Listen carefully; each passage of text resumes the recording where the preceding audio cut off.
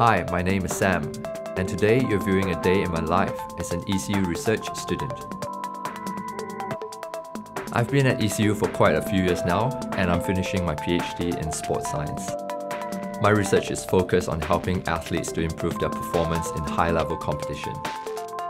I get to do this every day and I love it. It's great working in the labs. The facilities where I carry out exercise performance analysis and testing are state of the art.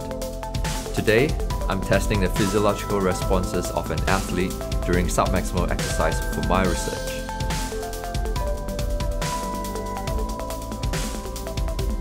I normally teach about once or twice a week.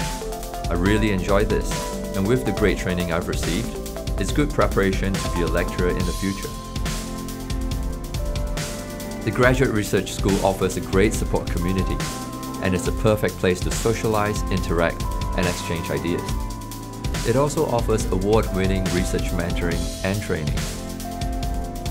I see my research supervisor Dr. Chris Abbiss most days and he gives me fantastic personal and professional support. And he's also a leading expert in this field, currently working with Cycling Australia and the Australian Institute of Sport.